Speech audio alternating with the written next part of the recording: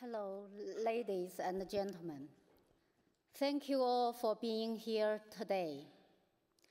The world is wakening up to China's horrific human rights abuses. You've just heard about millions of Uyghurs being held in concentration camps and the Uyghur crisis. Maybe you've heard that many lawyers were disbarred in China only because they represented rights defenders, Tibetan, Hong Kongese, or Falun Gong practitioners, and the arbitrary detention of thousands of ordinary citizens and human rights defenders. The Chinese government doesn't want the world to know the truth. That's why I'm here today, tell you the story of one of the rights defenders, my husband Ding Jiaxi. Actually, I, come, I want to tell you our story, the story of Jiaxi and me. My husband is a very successful lawyer. He took interest in the law and studied it when he was studying his master's degree in mechanical engineering. He passed his bar exam on his first try. I fell in love with Jiaxi the first time I met him. I will never forget about it. That was when I studied at university. One day, while I was working in the lab, Jiaxi walked in. He had the most captivating, sunny smile. I am a depressed person by nature and very pessimistic at that time. But Jiaxi was so upbeat and outgoing. He completely changed my whole outlook on life. After we began dating, my college friends almost not able to recognize me, as Jiaxi brought out the sunshine in me. I remember the first question I asked Jiaxi was why he wanted to be a lawyer. He told me that since he was young, he'd seen too many people who couldn't speak for themselves, and he wanted to speak for them. He wanted to change our society and make people happier. And the best way he could think to do it was to become a lawyer. In 2003, he set up a law firm in Beijing named De Hong, which means ground virtual in English. After decades, De Hong Law Firm had grown to over 20 employees and $4 million a year in revenue.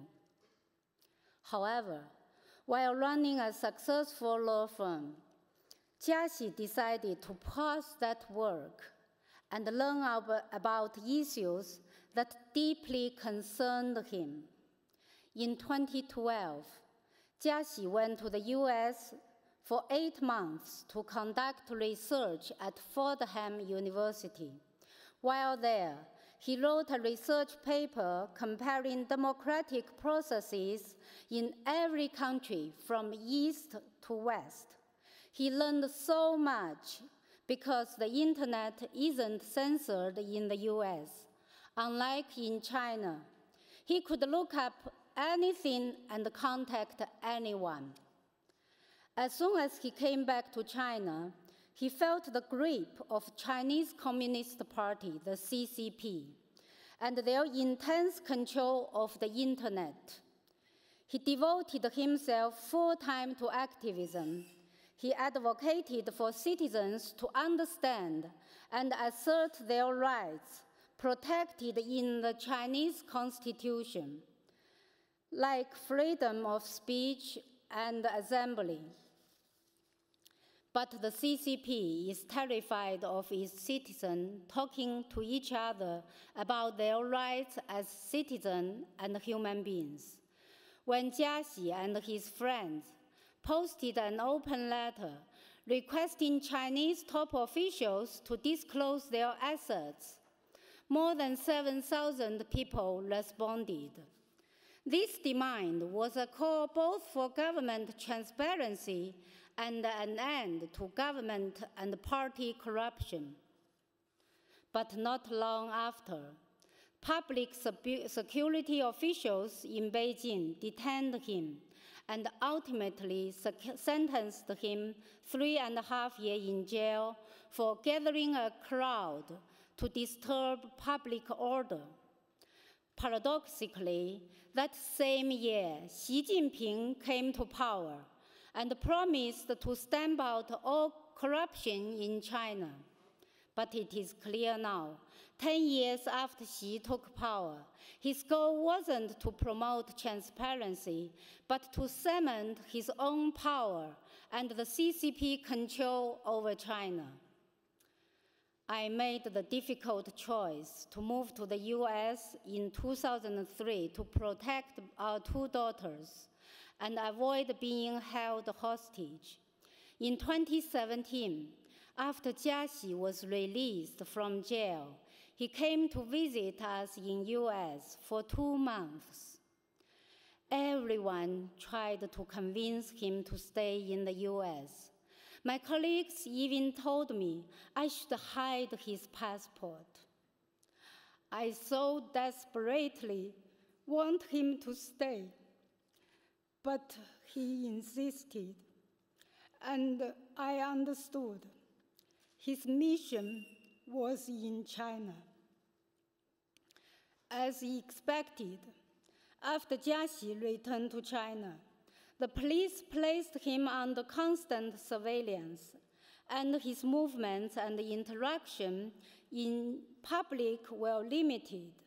In December 2019, he spent a weekend in Xiamen with some like-minded friends. They ordered takeout food and discussed current affairs, but that alone was enough for Chinese police they disappeared Jiaxi on December 26, 2019, disappeared his friend, well-known legal scholar Dr. Xu Zhiyong, on February 15, 2020, and disappeared twice human rights lawyer Chang Weiping. They were all held un under RSDL, residential surveillance at a designated location a form of incommunicado detention that can last up to six months. For six months, I didn't know where Jiaxi was, why he was being detained, or if he was even alive. I now know that under RSDL, he was tightly strapped to a tiger chair and interrogated. He was deprived of sleep harassed by loud noise, starved, dehydrated, kept in pitch darkness, and not allowed to even take a shower. What the CCP is doing is completely illegal. Jiaxi wasn't formally arrested until June 2020. He wasn't allowed to meet a lawyer for 13 months. And when he finally did, the lawyers were forced to sign confidentiality agreement, forbidden them from copying case files, discuss case details, interviewing with media, or speak publicly about the case. In August 2021, Chinese authorities indicted and charged him with subversion of state power, a crime that could put him in prison for as long as the CCP likes, just for meeting up with his friends to discuss current events and human rights. I haven't spoken to Jiaxi since December 2019. I feel pain in my heart every day, every minute. The CCP says they don't use torture, but they do. They say Chinese, China is a democratic, but they spend, put people in jail just for attending a friend's gathering. When UN High Commissioner sent a report to China asked for Jiaxi's case, they replied only one sentence says his rights all guaranteed. CCP is lying. They are not lying not only to Chinese, but also to international community, not only on Jiaxi's case, but also on thousands and thousands other, other inner citizens' case. Behind me stands thousands of Chinese families suffering as Jiaxi and me. I'm so lucky that I can stand here today speaking up for Jiaxi. You may not know that my friend Miss Li Qiaochu was sent to RSDL for four months, denied access to lawyer for nine months, was indicted for inciting subversion of state power, and now still in detention, just because she is the fiancée of Dr. Li Xu Zhiyong and has spoken up for him.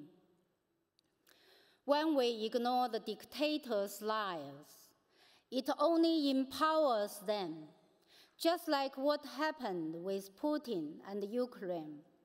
We must find ways to stop them covering truth and lying.